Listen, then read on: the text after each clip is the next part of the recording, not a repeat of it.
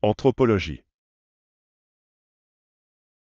L'anthropologie est une discipline scientifique qui étudie les êtres humains sous différents aspects, y compris leur culture, leur comportement social, leurs traditions, leurs croyances et leur évolution.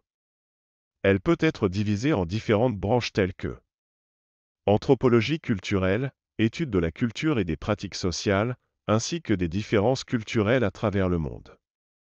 Les anthropologues culturels peuvent étudier des thèmes tels que la religion, la politique, l'art, l'économie et les relations familiales. Anthropologie physique ou biologique, étude de l'anatomie, de la physiologie et de l'évolution de l'être humain. Les anthropologues physiques peuvent étudier les restes fossiles pour comprendre l'histoire évolutive de l'espèce humaine. Anthropologie linguistique, étude des langues humaines et des relations entre la langue et la culture.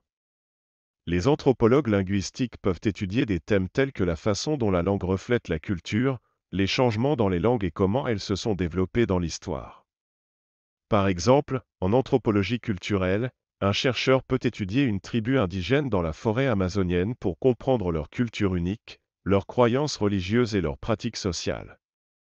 En anthropologie physique, les chercheurs peuvent étudier des fossiles de différents hominidés pour comprendre comment l'évolution a conduit à l'apparition de l'espèce humaine. En anthropologie linguistique, les chercheurs peuvent étudier les variations dialectales dans différentes régions du monde et comment ces variations reflètent les différences culturelles entre les populations.